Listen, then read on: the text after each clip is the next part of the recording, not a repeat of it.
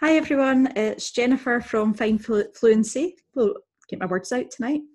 Uh, and we're on to mini lesson nine. And as requested by yourselves on the poll of the group, we are covering las preposiciones tonight. So we are just looking at two very basic prepositions. We're not going to go into great detail about every single preposition.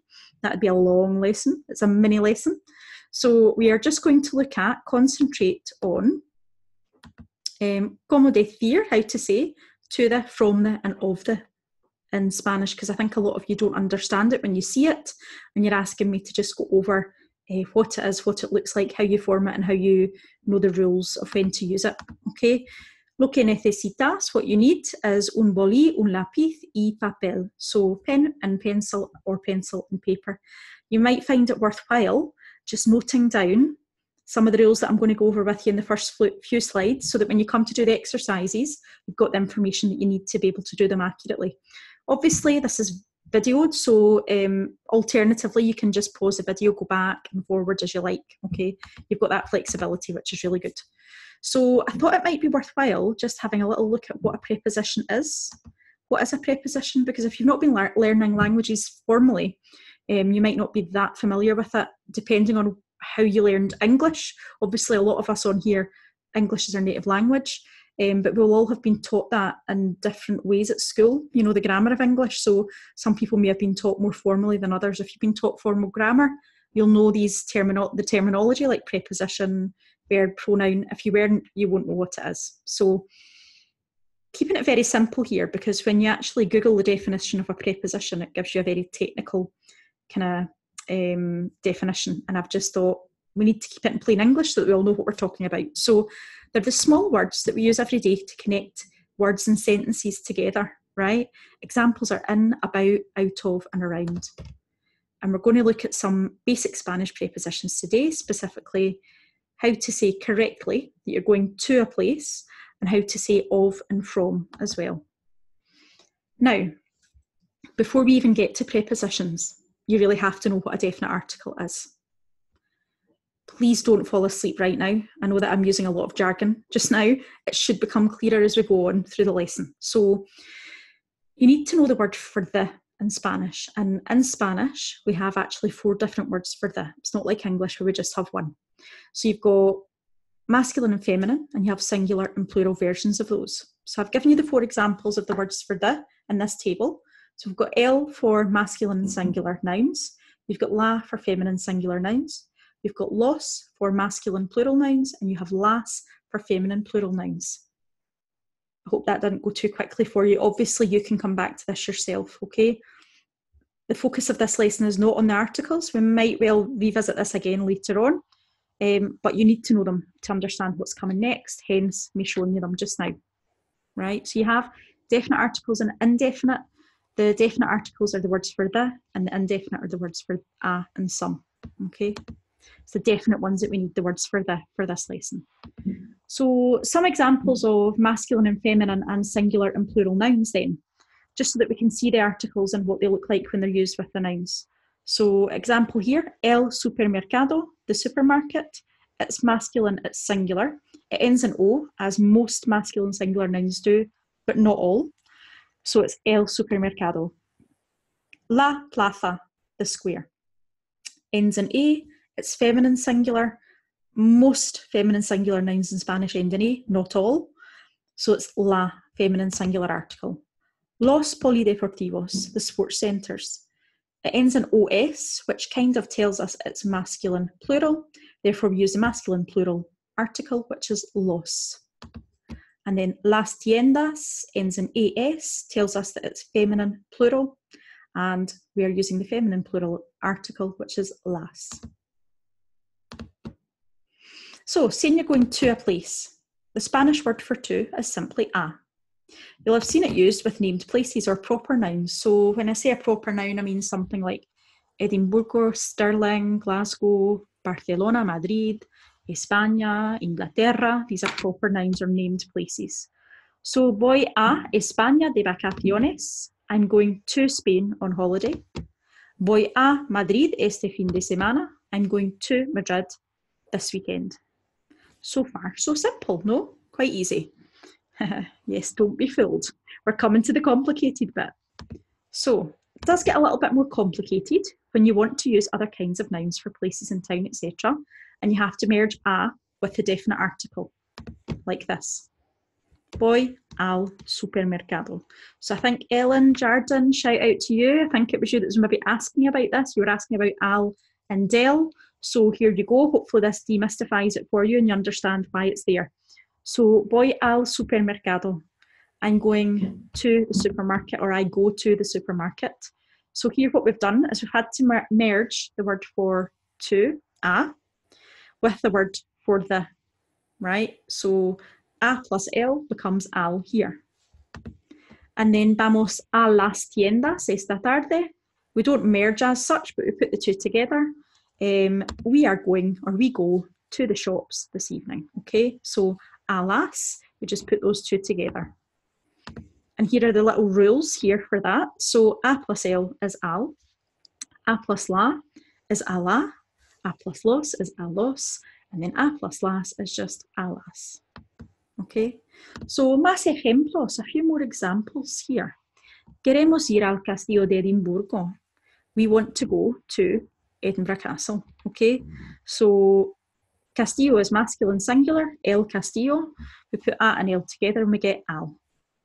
Los trabajadores van a las fábricas por la mañana. The workers go to the factories, plural, in the morning. So a las fábricas, it's plural, feminine plural. And then las turistas van a los mercados en Andalucía. Tourists or the tourists go to the markets in Andalucía. So, market on its own, um, the market is a masculine singular noun, el mercado, but in the plural, it's los mercados. So, we say a los mercados here. And then nos vemos a la estación de trenes.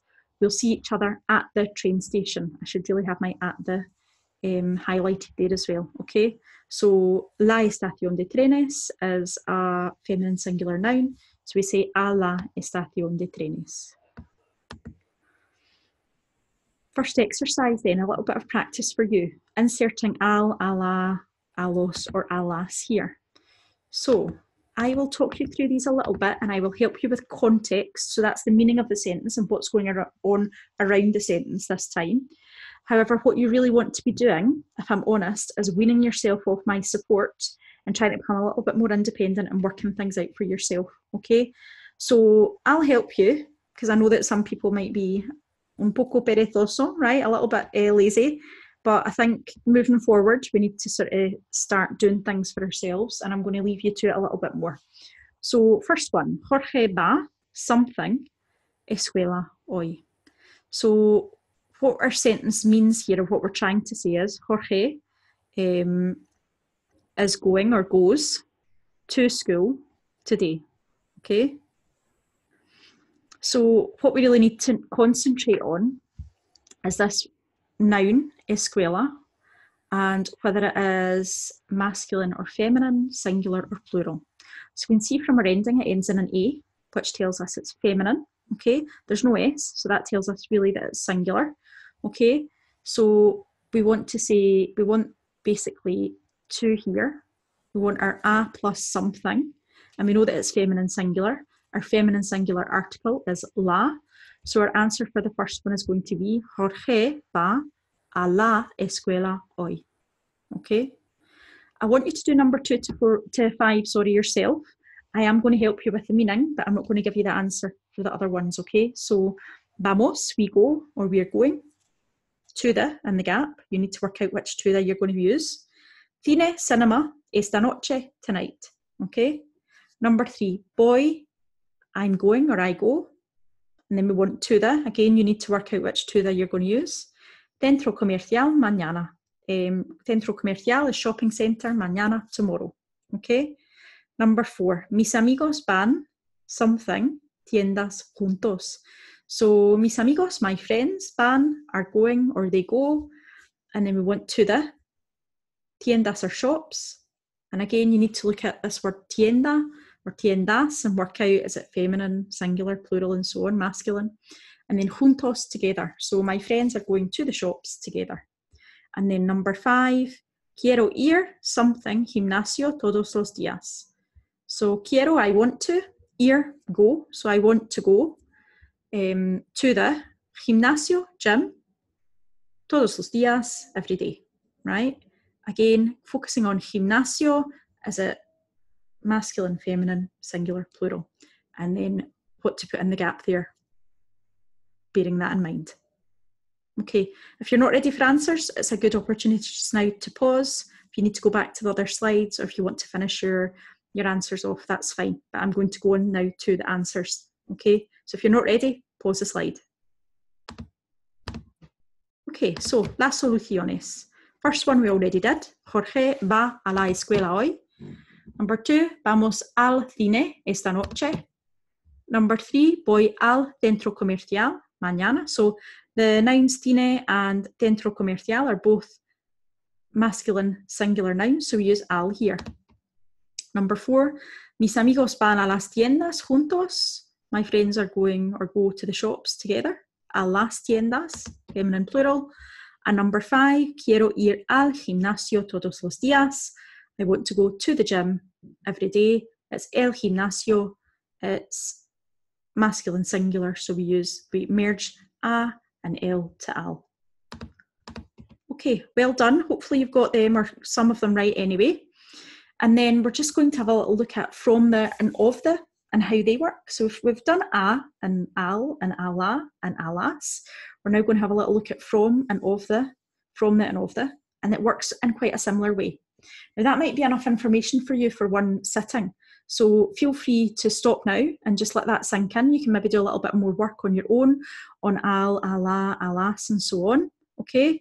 Um, and then you can come back to this bit later on. Or if you're thinking, yeah, that was okay, I think I can power on through, then by all means, power on through. Very similar rules, so this bit should be easier having done the first bit of the lesson. So the word for from or of in Spanish is de. And you've seen that already, okay? When it's been used with proper nouns or with name places and people, we've seen it, okay? We've seen it being used. So when we did the verb ser last week, if you did that lesson, soy de Francia, I'm from France.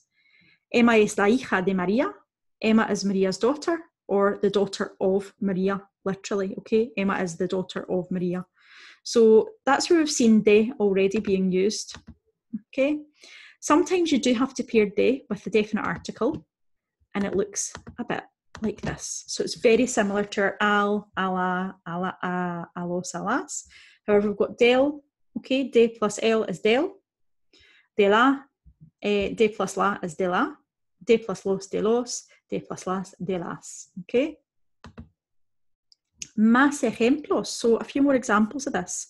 Es el coche de la chica, Eh, it's a girl's car or the car of the girl. Soy del sur de Inglaterra.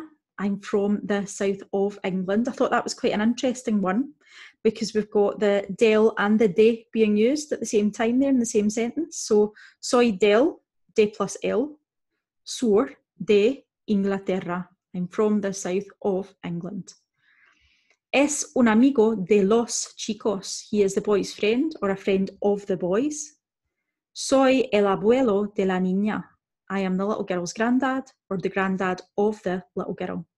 So in Spanish, we will never see the apostrophe for possession like it is Robert's car, Robert's with the apostrophe. Um,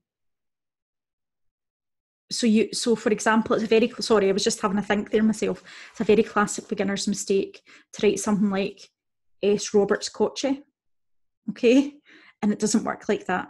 Es el coche de Roberto or whatever, okay? El coche de, um, I don't know, la chaqueta de uh, Jennifer, right? Jennifer's jacket. No, um, es Jennifer's chaqueta. We don't say that, okay? So that's where your de la and your del and your um, de los and so on is used for possession, okay? We don't apostrophe for possession the way that we do in English. Okay, so ejercicio dos, practicamos. Let's see if we can put that into practice a little bit. So very similar exercise to our al and our alos and stuff, but this time we're inserting de, de la, del, de los, de las. What do you think is the right option here? So again, will I help you a little bit with um, I don't know if I should help you so much with the context. I think you could probably look these up. Um, might help you a little bit with meaning here. So, Estados Unidos, if you've been following the lessons, you should have you should know what that is. I'm not going to tell you what that is. Soy, I am, you should know that as well. Mi marido, my husband. Um, so what to say is from the north of Spain here. Este libro es. Este means this. So this book is something. Okay. Uh, so we want to say this is the women's book basically there. Volvió, preterite tense you haven't seen before, or I haven't shown you, some of you might have seen it. Um, so volvió means um, he or she returned or came back from. Okay, so they came back from the shops with something. You can maybe work out what they are. And then este pescado, so we've got that este, this, okay, this fish is and then Rio means river. So we want to say this fish is from the river. Okay. Now, I, I think I'm going to go into answers. So if you haven't done these, obviously that was very quick. Might want to pause just for a little minute, give yourself some time to do the answers, um, and you can unpause when you're ready to see the the correct answers and correct your work. Okay, so moving on now to answers. Las soluciones. Soy de los Estados Unidos, so it's masculine plural, so it's de and los. Two, mi marido es del norte de España. Um, it's masculine singular, so it's el, de plus el is del. Este libro es de la mujer. Mujer is lady or woman. It's feminine singular. Doesn't end in a, but it's feminine, feminine singular. So este libro es de la mujer. Four, volvió de las tiendas con regalos. Again, we're looking at this noun here to try and get which one we use. It's feminine plural, so we use de las. And then five, este pescado es del río. So el río is masculine singular. You have to put de and el together, del río. Okay? Hopefully you've got most of them, if not all, correct. And well done that's quite a hard slog, especially if you are not used to covering grammar. I was quite surprised, as I said, um, on the Facebook group page that so many of you wanted to cover this when I gave you the options because it sort of directly contradicts the information from the survey that I gave out. So I had sort of surveyed just a sample of 30 or 40 people and asked what they felt like they most wanted to learn or what, they, what skills they wanted to brush up on the most. And grammar was really really in a low percentage of what people wanted to to learn. But then it just shows i think the fact that you've all a lot of you have chosen this as the point that you wanted to cover i think shows that you probably don't realize when you're using grammar or when you need it but then you do realize you notice it when you don't know what something means and quite often it's the more technical aspects of language that cause you problems and that's where really the grammar and being able to use the language flexibly comes in. Okay, so hoy hemos aprendido las preposiciones de and a. Right, right, that should say de y a. We should have our Spanish words. So the prepositions de and a. And then como y cuando usarlas. So uh, how and when to use them, I think, hopefully.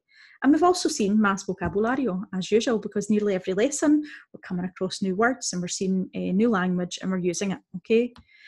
Um, good. I hope that was helpful for some of you and I hope it's answered some questions. If you have any questions on it at all, then obviously feel free to uh, drop me a line anybody that's not on the Facebook group, get yourself into the Facebook group, send me a little request, answer the two questions to get into the group. I'm happy to have you if you're a genuine Spanish beginner and you want some free help. Ok, muchísimas gracias todos. Buenas noches.